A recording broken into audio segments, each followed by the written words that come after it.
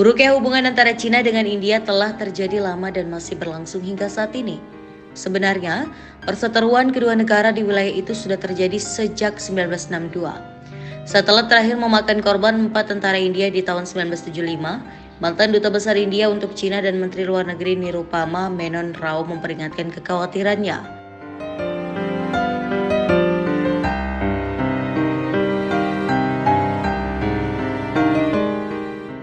Bahkan, PBB meminta kedua negara untuk melakukan pengekangan konflik secara maksimal. Amerika Serikat yang kini menganggap India sekutu telah berulang kali menawarkan diri sebagai mediator. Sebenarnya, perbatasan kedua negara sudah dibatasi oleh garis kontrol aktual atau LAC. Tapi tidak ada yang mengakui ini, ketegangan keduanya ditakutkan mempengaruhi komoditas. Pada medio 2020 lalu, South China Morning Post melaporkan ketegangan bahkan memicu peningkatan jumlah pasukan dan senjata oleh kedua negara di perbatasan. China disebut mengirimkan pesawat pam bom C-16 sedangkan India menyiagakan pesawat tempur Sukhoi MSU-30 MKI. Sebelumnya, Reuters juga melaporkan ratusan tenda pasukan bermunculan di sisi China. Sedangkan di sisi India, para pejabat sudah mulai membahas secara intensif perkembangan yang terjadi di ibu kota Ladakh, Leh dan New Delhi. Menurut mantan pejabat militer India, pembangunan jalan dan jalur udara oleh India menjadi penyebab. India membangun jalan di lembah Galwan yang menghubungkannya ke pangkalan udara Daulat Beg Oldi. Cina menduga pembangunan infrastruktur yang dilakukan India di sepanjang Line of Actual Control atau LAC berbahaya terutama untuk kawasan Aksai Chin yang jadi bagian Cina, yakni Provinsi Xinjiang dan Tibet.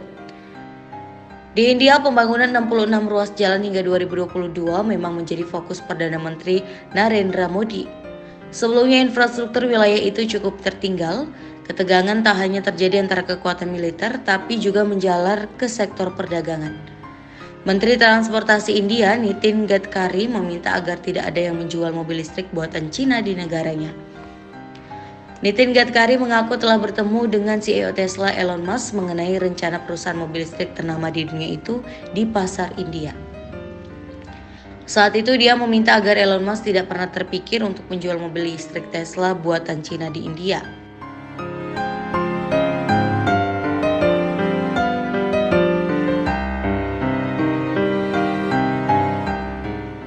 Selain memaksa agar bisa produksi di India, Nitin Gadkari juga mengingatkan Tesla akan harga mobil listrik yang akan mereka jual. Dia meminta agar Tesla tidak menjual mobil listrik buatan mereka di atas harga 3,5 juta rupiah atau setara 662,1 juta rupiah. Menurutnya hal itu bisa dilakukan karena saat ini pemerintah India memiliki program kerja bernama Atmanirbhar yang fokus pada industri baterai. Lewat program itu, India akan jadi pemain utama suplai baterai ke seluruh dunia. Hal itu yang diyakini Nitin Gadkari akan menguntungkan Tesla. Pasalnya, mereka bisa memanfaatkan potensi yang ada di India untuk membuat mobil dan menggunakan baterai yang ada di India. Diketahui saat ini Tesla memang sudah membangun pabrik di tiga negara, yakni Amerika Serikat, China, dan Jerman. Pabrik Tesla di China difokuskan untuk memproduksi mobil listrik murah mereka, Tesla Model 3 dan Tesla Model Y.